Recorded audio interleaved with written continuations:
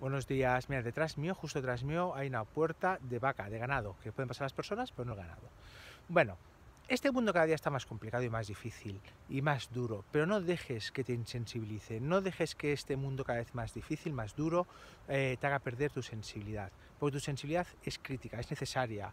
De hecho, en Wabi en mi último libro, hablo de un concepto que es el de una mirada amable. La mirada amable es básica, es una mirada sensible, una mirada amable, una mirada comprensiva, que busca eh, conectar y no desconectar. Una mirada que te permite poner en contexto lo que la otra persona piense y siente y, ponerte en su lugar. La base de la empatía está en una mirada amable, ¿eh? la base de la comprensión, de la compasión está en una mirada amable.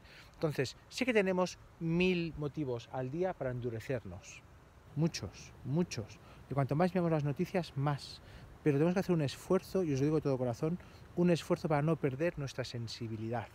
¿eh? Para poder discriminar a aquellos que se quieren aprovechar de ella y ignorarlos y en vez de atenderlos, cabrearnos, decir pues ya no ayuda a nadie más, perder nuestra sensibilidad y nuestra empatía y no utilizarla con la gente que lo necesita, ¿sí? Entonces, no la perdáis, no puedo deciros nada más, va a ser un vídeo corto, no, perdáis vuestra sensibilidad, porque es la clave de un mundo más humano, no perdáis vuestra humanidad. Eh, si tenéis alguna duda o pregunta, me un correo a tomás, y estaré encantado de darles respuesta. Hasta el próximo vídeo.